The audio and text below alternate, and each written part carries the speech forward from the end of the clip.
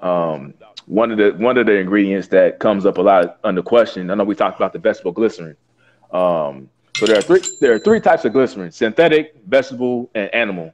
Um, again, if you don't mess with animal products, you're not going to want something with animal glycerin in there. Uh, synthetic uh, glycerin is a basically a synthetic blend of something. It's not natural. Um, vegetable glycerin is, is natural. It comes from uh, palm and coconut oils. Um, so it's, it's it and it, for us it has many different uses, but it's used throughout a lot of beauty products. Um, one of the things people use it for is mouth ulcers. Um, another thing is um, constipation. You can actually use vegetable glycerin to get rid of constipation.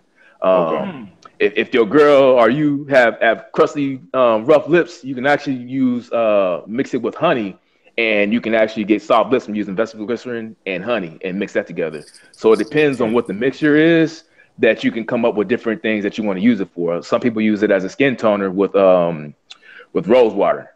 Um, so you can use that. Uh, about that is the, the thing uh, vest, vegetable glycerin pulls. Uh, it's a homunculate. Uh, homunculate.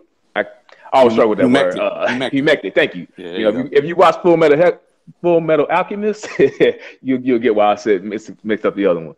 Uh, but anyway, so it actually pulls moisture from the air. So as you apply it to your hair and your face, it'll pull moisture in and help nourish your skin, your um nourish your beard hair as well as hydrate your skin at the same time.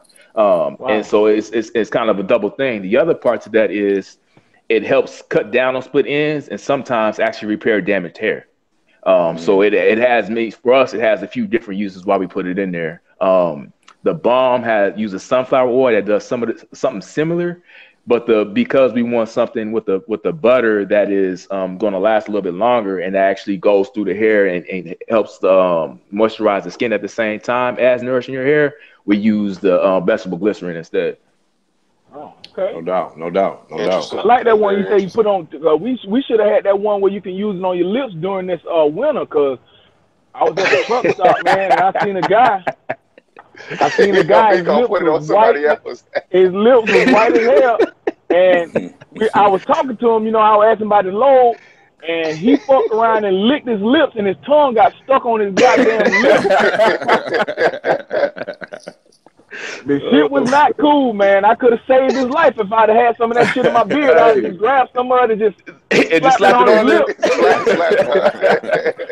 yeah. Oh, and, and the other the other benefit too is it doesn't it doesn't clog your pores. So a lot of other products, like as as it seeps down in there, it clogs pores clogged pores cause ingrown hairs and acne because your pores get clogged up and it starts, you know, the the uh, the testosterone and with the andro- androtestosterone mm-hmm. gets caught up in there and it kind of builds up those bumps. You know, you end up with those issues. Um, so it helps cut down on those same problems at the same time.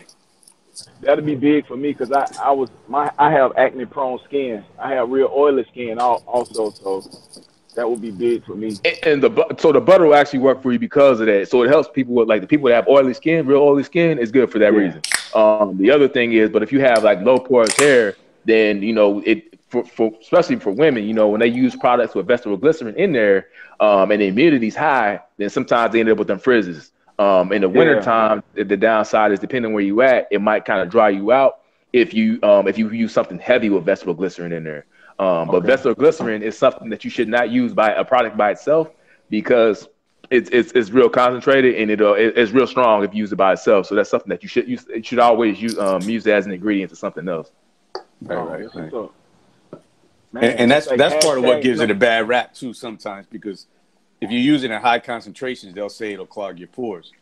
Right. But but um, that's only in super high concentration, and also usually there's something else going on with your skin that kind of you know kind of closes your pores up a little bit, and then your pores will get clogged from the vegetable glycerin. So right, if you right. got healthy skin to start with, that's not going to cause you no damage. And I'm yeah. sure the level of vegetable glycerin that you have in a product like this, not you're not using it by itself, it's fine. Just like anything else you use, if you overdo it, you know what I mean? Correct, correct, correct. True that. So yeah, because anytime, anytime I have somebody come to me and they.